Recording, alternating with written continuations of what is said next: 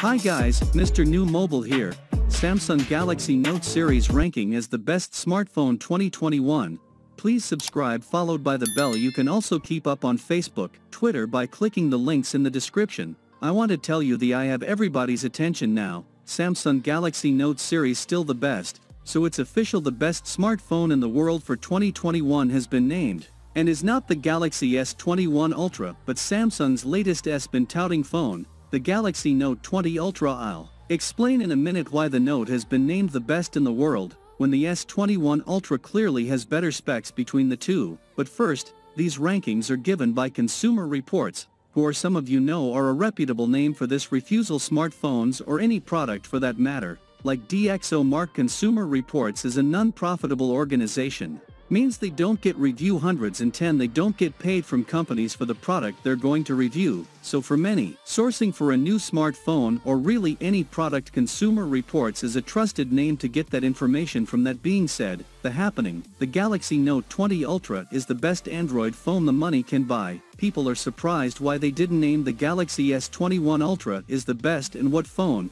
but it clearly has better specs are just better display a more powerful processor the better zoom camera an excellent telephoto camera and all that are some reasons and the actually makes sense when you think about it. First he said the Galaxy S21 Ultra is thicker and heavier to hold in the hand than Note 20 Ultra. The phone's new camera hardware makes it feel very top-heavy makes it uncomfortable to hold. The S21 Ultra with one hand for a long period of time for us if you have bigger, stronger hands the weight might not be a problem, but I absolutely agree on this. I have both, you falls in the Galaxy Note 20 Ultra feels so much better than the S21 Ultra in hand and Note 20 Ultra is thinner and lighter, and is not as top-heavy as the S21 Ultra. I love everything about the S20 Ultra acceptance weight and thickness, and always thought the S21 Ultra and Galaxy Note body will look like and feel so much better, and that's the reason I was looking forward to the Galaxy Note 21 Ultra. The most guess will have to wait until next year to see that happen, I've said it. In the past and I'll say it again,